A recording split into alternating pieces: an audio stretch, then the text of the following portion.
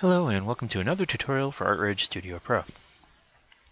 Um, I was asked over at the forums how to create a new preset for the canvases. I'm actually going to cover a lot of different stuff uh, for anybody who might need uh, more extensive knowledge of how to import grains and everything. Uh, but just to get right to the point of answering his particular question, uh, I'm just going to go ahead and directly show you how to save a canvas. Okay, So let's say that this particular canvas is a canvas I want to continually use.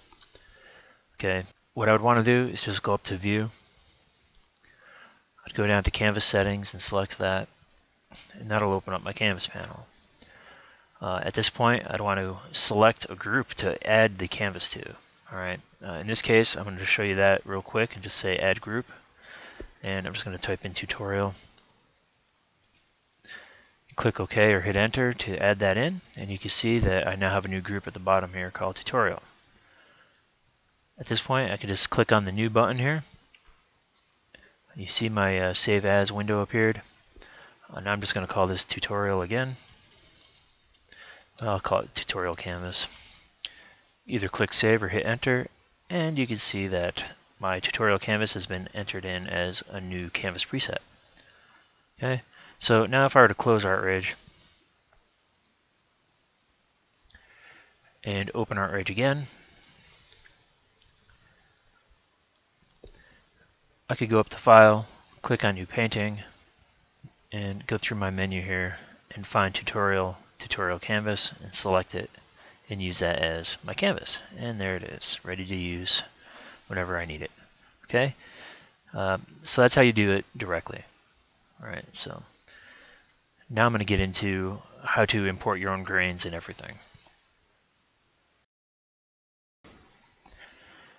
Okay, so let's say we're going to start from scratch completely. Okay, we're going to create a new canvas to the height and width we want to use, uh, the resolution we want to use, the color we want to use, and the texture we want to use completely from scratch. Uh, what we want to do is go to File, and we're going to select New Painting. That opens up our New Painting panel. Okay, so we want to go ahead and select the width and the height that we want to use. I'm just going to leave them as they are there, but uh, you know, you just click on there and type it in, or you can select from your uh, list here. Okay, uh, you want to choose your pixels per inch. I'm going to leave it at 72 for this because it's just a tutorial. And then you want to choose the canvas grain you want to use. Uh, and to do that, if I just hover over this canvas panel here, you can see it says Open Canvas Preset Picker. Okay, you just click on this preview window, and that opens up your canvas panel. Okay, so at this point we're going to select the grain that we're going to use. And there's a couple ways you can do this. Um, first of all, you could go to this menu and opt to select the grain from your computer. Okay, so if I click on that, you can see it opens up my browsing window, and I can just go ahead and select the grain, click open, and it'll put that in there for me to use. That's the simplest way to get it there and that's pretty good you know if you're not going to be doing much with this grain okay? Because uh, all it does is bring it in for the canvas itself. And you could save that canvas as a preset and everything but uh, it's not going to allow you to be able to select that grain for use with the different layers alright um, in order to get that uh, that grain imported for use uh, all the time with different layers, uh, no matter what, you want to go to the uh, upper right window here, and you can see it says choose canvas grain. If you click on that, it opens up this panel here for paper grains. Okay. Now, at this point, you would either add a group or select a group to put it in. Uh, just to show you, I'm going to click on Add Group, and I'm just going to name it Tutorial either click OK or hit enter and you can see that that creates a group in there for you. And I'm going to import grain okay?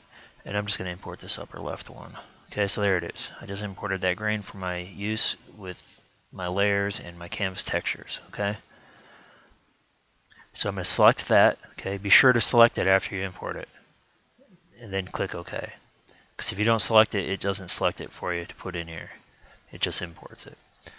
Okay so I just imported that grain and selected it for use and now it's in here. I can choose my color okay and to do that I just clicked on this middle uh, tab here it's default white Uh, I like to change it to an off-white. That's my personal preference, but that's up to you. Uh, you can change the opacity. All right, so if you don't want a background to be seen, uh, if let's say you're saving as a PNG and you wanted a transparent background, you can change that here. I usually leave it at 100%. That's my preference. Uh, you can change your metallic setting. Okay.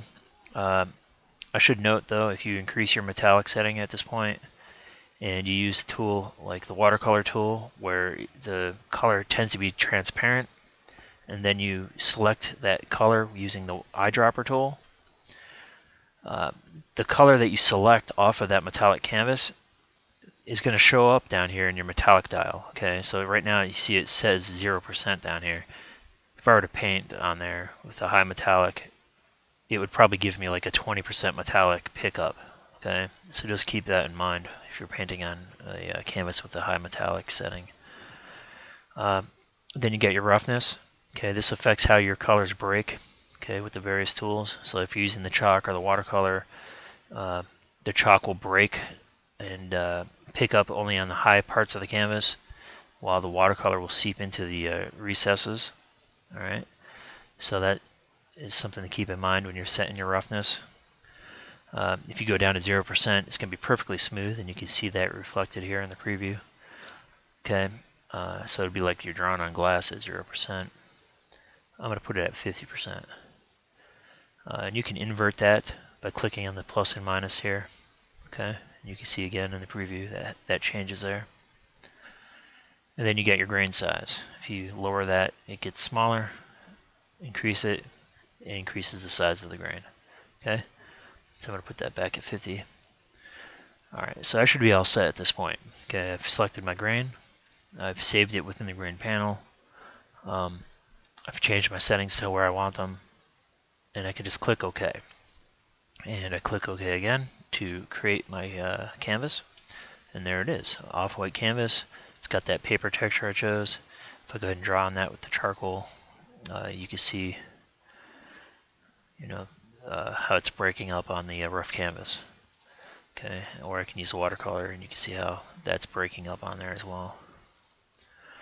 Okay, so let's say you're happy with that canvas. You do as I showed you at the beginning. You just uh, go up to view, open up your canvas settings panel again, and opt to save that. Okay, by clicking on that menu uh, and saying new canvas preset. Or you can uh, click on the new tab here uh, now I should mention, if you notice, it's grayed out right now. And if I chose new canvas preset here, nothing would happen. That's because I'm on the favorites group, okay? In favorites, you can't add anything to that specifically. Okay, you have to choose either your own group or a group that's already pre-existing that isn't favorites. Okay, so I'm going to choose tutorial, and at this point I can click on new, and you'll see that it brings up the save panel, where I can give it a name and proceed on. Okay, and there it is saved. So that's how you do it. Hope it helps.